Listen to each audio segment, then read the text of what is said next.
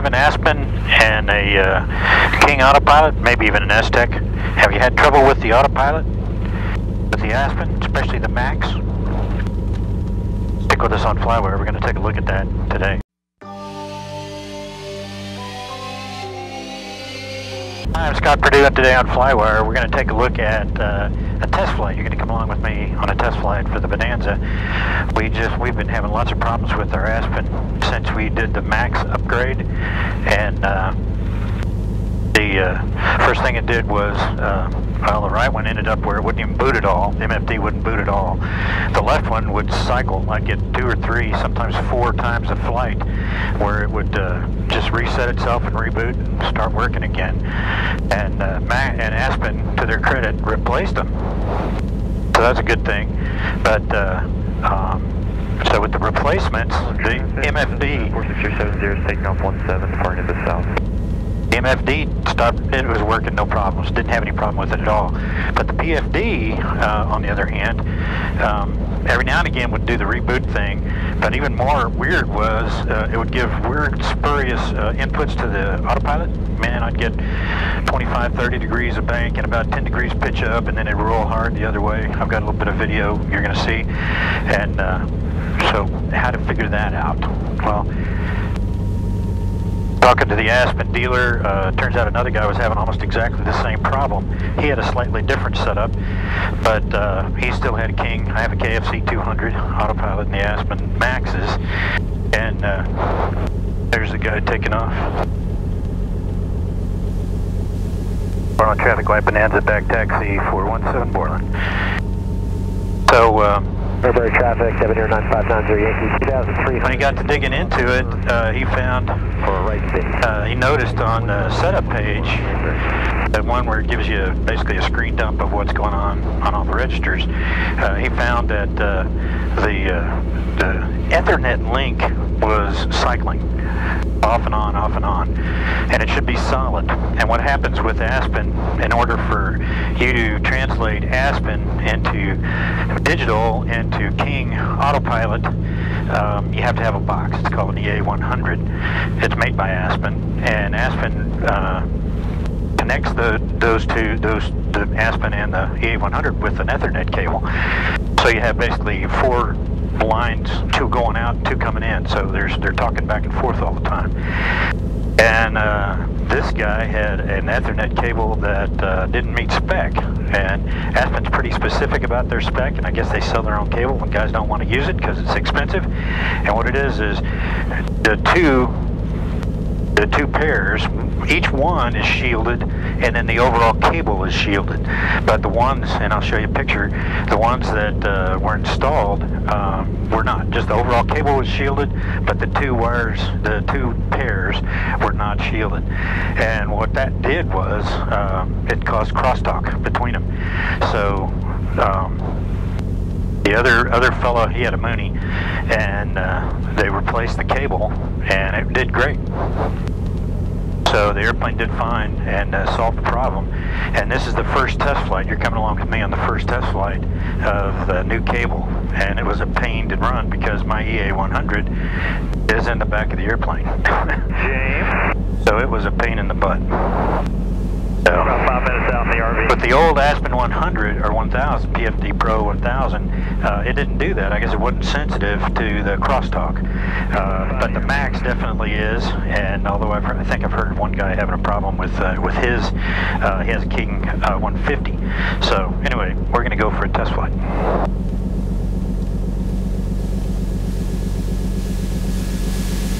And the oil pressure and temperature is good, so we can do ourselves a run. Right, here we go. Is cleared.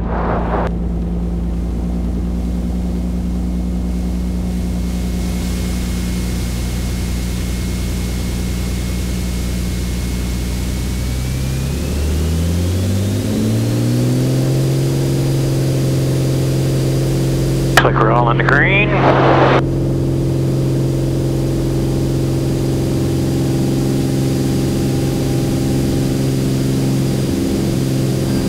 Gear up? These are both of the original uh, Maxes, EFD and MFD Pro Maxes. And you can see the right one, the MFD tried to boot and then it goes off. Check looking on the right side. The lights are blinking on the bezel's uh, push buttons on the right side. The left boots up, okay. The, the right one ends up stop working. Here we go. The right one's not working at all. The left boots up, and watch this. It's going to start a boot, and it's going to redo it. Uh, very frustrating. This had happened three or four times uh, in flight, and uh, just just very frustrating. You can't fly IFR that way. You can fly VFR, but it's still kind of uh, maddening uh, to have it happen. You can't fly with the autopilot, etc. So it's a bit a bit crazy.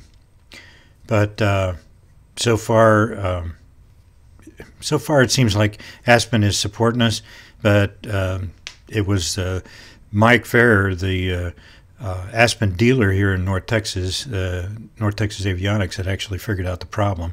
Here it comes up, and then here we can see the right side uh, is working solid, uh, not having a problem. The left side is booting up again, and it's Mike that found out, figured out about that cable issue, and you saw what it looked like—a picture of the two different cables. Um, and the the problem really manifested itself as uh, this would happen after some weird autopilot inputs. The uh, the PFD would uh, reboot itself after some real weird autopilot inputs, and that's what we're fixing to see right now. And watch this uh, as we go to this uh, shaky film. Sorry, watch it's going to pitch up to 10 degrees. The autopilot is. I'm not doing anything, and then it's going to roll left very rapidly to almost 30 degrees, and then immediately reverse that roll to right roll almost 30 degrees. Crazy. All right, we have the autopilot selected.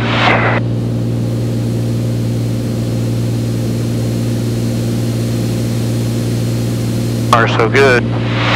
Usually it wouldn't last this long, so I'm thinking that's a pretty good thing.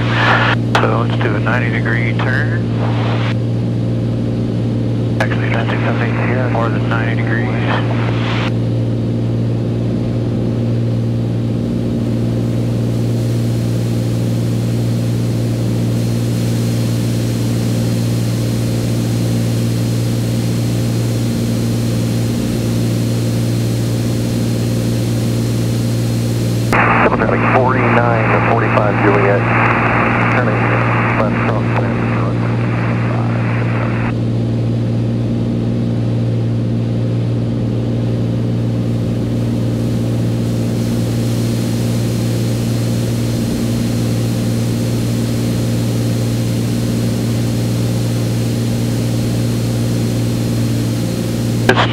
Some uh, GPSs and having 9 o'clock, 2 miles. There he is. I love it. Harris Airport. Bridgeport traffic helicopter 9 Mike is currently 12 miles north of the airfield. Uh, doing our holding pattern at CDAC. We'll be back inbound on the RNAV GPS runway 18, Bridgeport. Cancel traffic, Challenger 62 November, making the right turn onto the west, last call, cancel.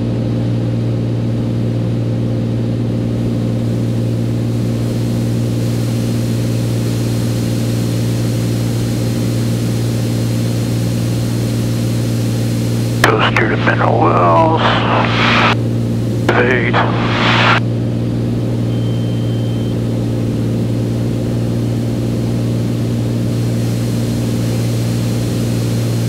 Okay, so grab a 663. So the autopilot doing it in control. I'm navigating to something making a turn.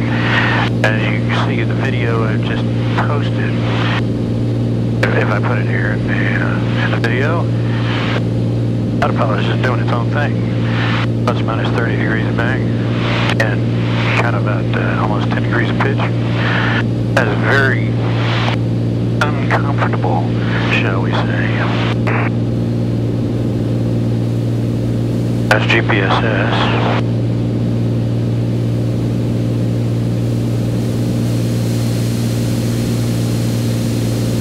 Alright. Temple traffic 49, 45 Juliet. Left base.